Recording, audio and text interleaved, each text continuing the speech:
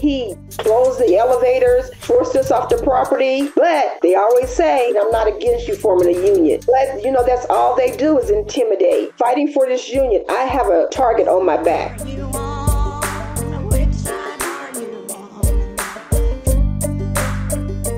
Cherie, can you hear us? Yes, I can hear you just fine. Can you hear me? I can. Okay. Awesome. Yeah, thanks for joining us. Yeah, thanks for joining us. So, uh, Cherie is a last minute addition um, because uh, the the um, event that, that you're calling in to talk to us about is a bit of a, a last minute, or not. Y'all probably been planning this, but is it hasn't been public for very long because y'all just went on strike yesterday. Uh, who are you? Yes. Where do you work? What's your union? Uh, and why are y'all on strike? Okay. Well, first and foremost, we don't have a union as of yet. We're trying to get a union, okay? And we are Oh, wow. working with CWA 3509, and they have been a great help to us. But yesterday, yes, we did go on strike. Um, and it was awesome. I mean, it was one of the biggest strikes ever. We had like over 600 people in in the eight locations. Over okay? Which means that it was the biggest the biggest strike ever ever that, we had. But you know the main purpose of our striking because as you know we're a call center at maximus and most who, who are women women of color and we're facing unacceptable wages and working conditions. And we can't really afford to go to the doctor. Okay. And when I said for four to go to the doctor, I'm talking, okay, I'm a diabetic. Hmm. And I had went to my primary and he told me my A1C was going up. And I, you know, and I was like, oh my gosh, what can I do? He said, well, Cherie, what we're going to do is put you on this drug, Ozempic. And I was like, okay, then. So he had, you know, uh, sent Blue Cross Blue Shield of Virginia um, uh, a procedure code saying that this is what I need. Well, because my husband's a veteran, I have also have CHAMPVA.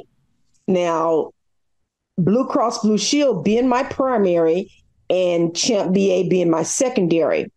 So what happens is I go to the pharmacy and the pharmacy says that no, um, it wasn't accepted by your insurance um, because you need fi- prior approval.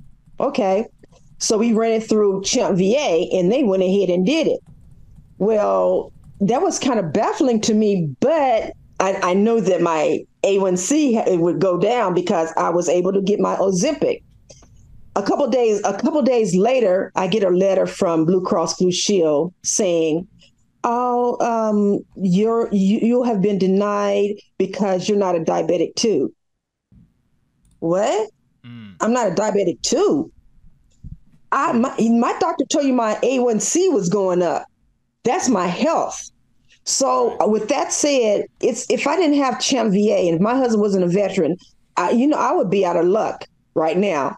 So it's it's not as what Maximus has portrayed it to be. Our health care isn't up to par. I mean, to be honest with you, we, I don't even feel that we should be paying health care, considering that we work for a vendor that supports the affordable care and they're getting paid from the government. Okay. Right. Now, when we did have our strike, um, we were we were we just fed up. We're we're fed up. Uh, you know, one of the call centers actually ended up closing down because they didn't have enough support in there. Okay, so I mean that's how serious we are. Okay, now I do commend the Biden administration, Vice President Biden and Kamala Harris, you know, for what they have done thus far, as far as you know, the executive orders they've said that they would they gave us like a 1578. Now we're at 1658. But you know, that's that's actually not enough. That's not even a, a living wage, okay? So mm-hmm. we're asking the administration to make a change, to do something. I mean, because we because we want at least twenty five dollars an hour. Okay, because I do what Social Security does and what the IRS does. Now, if you have a loved one that's on Medicare, they you know don't understand a lot. And you know they don't know what what they're calling if they're calling um, social security or because it's our number. We're the main hub that everyone calls and we just route the calls out. So i ended up explaining what you know social security is how they make their payments and uh, it, it's just it's, a lot now over 10,000 workers uh, work for the federal government answering calls for medicare and the affordable care act which was formerly known as Obamacare.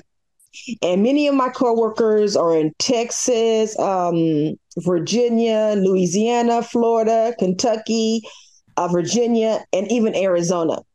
Okay, and these and all these are people of color, and of and it's just I, I'm just appalled by you know the greediness of uh, corporate America of the CEO of Maximus because he's made over $20 million over three years.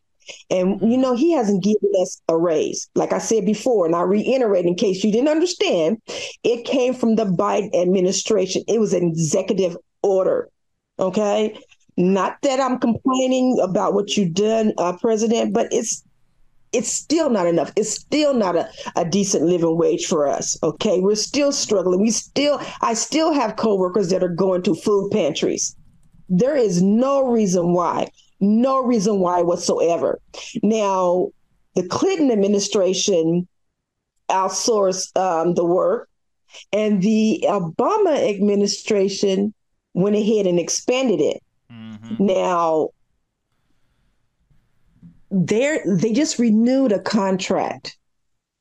And i mean I, I, that's something that i don't understand either. You know it's like you have people there your profits have went up 22% since you've gained because see we used to be gdit those who don't know. And then maximus bought us out and i think it was like I think they paid like four hundred million dollars. Um, I'm not really sure about the money itself, but their profits have went up since they've gained us. Okay, but we don't get any recognition, and that's what we're asking for: recognition. Uh, that is uh, not a lot to ask for. It seems eminently reasonable, and so y'all have not, ha, ha, y'all haven't had a union election yet. Then, I, for some reason, I was thinking that y'all were already unionized with CWA. Um, what are the no. prospects like for uh, for getting that election or, or for getting voluntary recognition? Well, you know, we're working on doing just that because you know it has to be 50% plus one, all right? mm-hmm. So we want to make sure our I's are dotted and our T's are crossed before we do anything. Because as you know, if you take a vote and you not you you don't have everything together, then you're gonna have to start all over again. Yep. So your efforts have been lost. And you gotta wait a year at least before you can Yes, you do. Yep. Yes, you do. Yeah, well, uh, that that's absolutely uh, right to to want to make sure that your uh, I's are dotted and, and your T's are crossed. How is the company reacting to this union campaign? well, you know, we that's one thing we want. Maximus, you know, they say that they're not going to mess with the union, they're not going to intimidate us, or, mm. but they do that anyway, and they hmm. do it undercover, Wait, no, no, okay? Now, now, Cherie, hold on. You're telling me that a company would lie? That just Oh, oh yes. oh yeah. I have never heard of such before. Example, okay. There were two layoffs, okay? One in January of 2023 and another in May of 2023. Now, if you're making so much money, how are you able to lay these folks off? Mm. and then hire more folks. How does that happen? CMS, how does that happen? Yeah. So somebody is is taking the numbers and doing something with them because I know that we're the ones who answer those phones calls. We're the ones who are making money for Caswell. And Caswell is a CEO, CEO of Maximus. and we're not getting any benefits. We don't get a thank you. Everyone wants to get a raise. I don't care if I did start at the bottom. If you gave me a raise every 60 days, every 90 days, and you know, and basically just said, Cherie, you know, you've been here for six years now, and I think that, you know, you should be doing more. Do you know I work on three lines of business? And when I say three lines of business, I mean Medicare, Marketplace, tier one and claims. So, okay, you call in and you say, well, I'm calling in because I, I received this doctor's bill and I would like for you to explain it to me. I'm not a CPA. I haven't went to school. Right. I have to explain that bill. But each time you ask me to go up to a new level, you're not giving me a raise, CEO. No, you're not. You don't get a raise until you go from tier two to ISG. Hey, five seconds. Just wanted to say that this is only possible because of our donors. If you want to see more of this, then consider donating yourself at tvlr.fm slash donate. Right. And something, so, something I just wanted to say is that I think it's really important that when you have government contractors, when you have public dollars that are being mm-hmm. spent, you know, there has to be strings attached to public dollars in my assessment. I think that right. would be something that could really make a difference here because when a company is making money off of our tax dollars, they should not be allowed to behave in the way that some of these companies behave. And they should be forced to mm-hmm. sit at the table with their workers and, and come to a fair agreement, right? That is just the reasonable thing to do. Um, and um, Cherie, are you in Hattiesburg? Is that right? Yes, I am in Hattiesburg, and I just want to piggyback off what you said. You uh, you were saying that your CEO or president should you know meet with us. Well, we went up to Virginia several times, and you know he won't even meet with us. Actually, you know he closed the elevators, forced us off the property, and everything. But wow. they always say okay, I'm not, you know, against Max. I mean, I'm not against you forming a union. Mm. But, you know, that's all they do is intimidate. Right. You know, I know fighting for this union, I have a, a, a target on my back. I know this, okay? But I'm fighting for what I believe in. Right. And I believe that I should be paid for what I'm worth. I'm not asking you to give me anything trust and believe that way because we are the backbone. The Latinas, the black women, we are the backbone, and you and we are strong. We are strong, and we proved that yesterday. How strong we are. Absolutely. How long have you been working for Maximus? I, uh, you may have said it earlier, but I, I can't recall. I've been working for them for six years now. For six six years. years Right. And with the six within the six years, I started at 965. Jesus. Then, you know, to 1035 because I went to dual. Okay. And then I went to um, I think it was 12 or 1135. But like I said before, we didn't get a, a living, livable wage, shall I say, until Biden and his administration said, okay, this is an executive order Right. Maximus has not did anything. They do not do more than what they have to do. That's all they do. And like I said, our CEO, his, his no one in his family may have diabetes. They may not have glaucoma. They may not have asthma. But you know what? You have to have compassion for the people that you work um, that are working for you and that and that's not being displayed, not at all. Yeah, that yeah, and that's uh, that's just insane to be working a job for 965 uh, only six years ago. Um, and this is, you know, this is such an important job, you know, making sure that people know where to go to get their health care. the idea that uh, you know, that they would be paying you 965 and then only paying you 1516 after this uh, after this this executive order came out. You know, uh, a- absolutely, and no doubt, you know, a three dollar an hour raise is a big deal, but fifteen dollars an hour is just is is not enough for you know for a job that that is is as important as this. And it shouldn't have been outsourced in the first place. You mentioned that about bill clinton and obama and all of these people outsourcing all of these government jobs that's a huge huge deal uh, that people really need to be uh, more concerned about. And really frankly the you know the federal employee unions need to be more more antagonistic towards. You know I, I just don't see very many anti-privatization campaigns. You should be in my union right? I'm a federal employee. I have a union.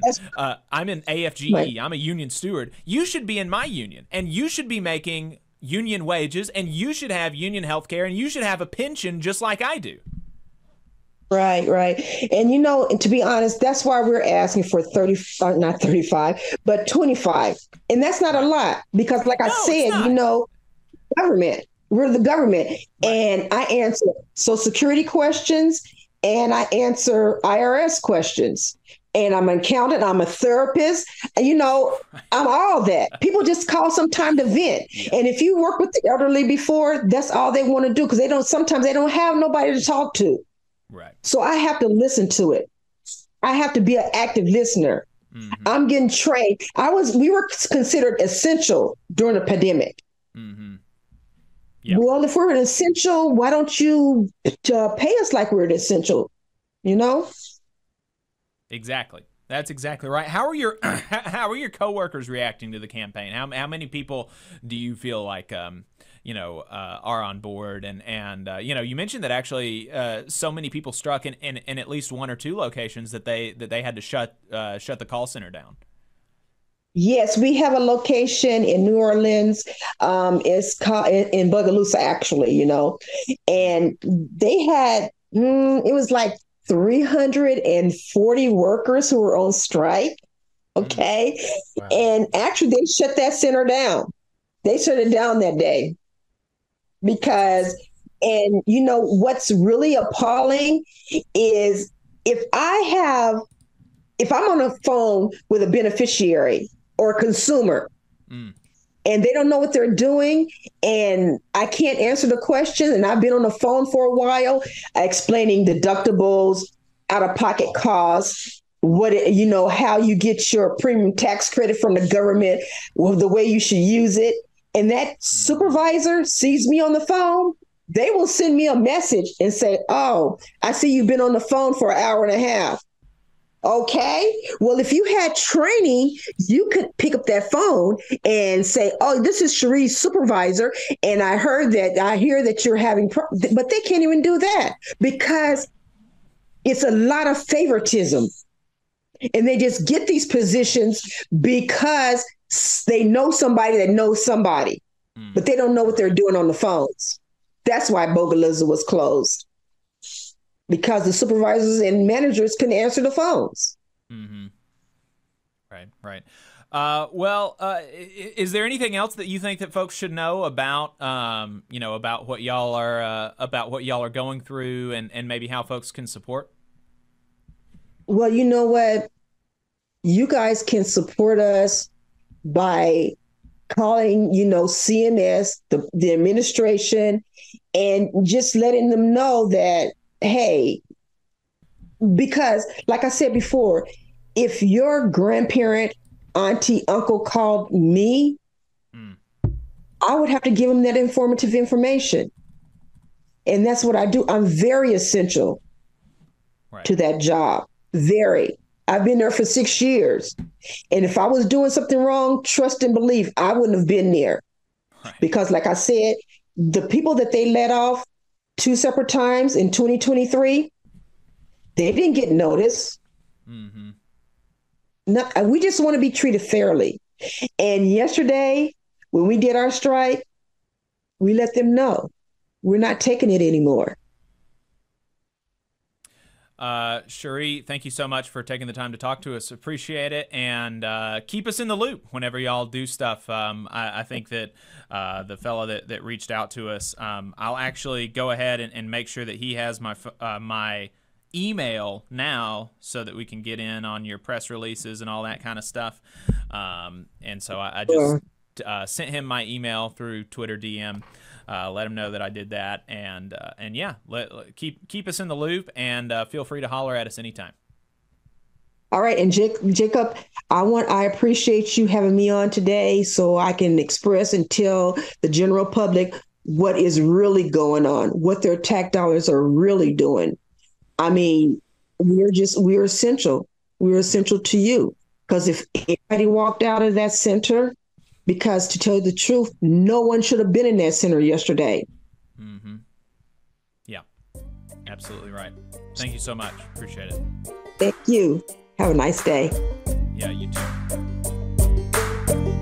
You just saw a clip from the Valley Labor Report. We are live every Saturday morning from 9:30 a.m. till 12:30 p.m. and we pride ourselves on keeping all of our content free to everybody so that we can talk to as many working folks as possible. If you support the work that we're doing, you think that it's important, you think that it's good, then consider making a monthly contribution to the project, and you can do that on our website, tvlr.fm.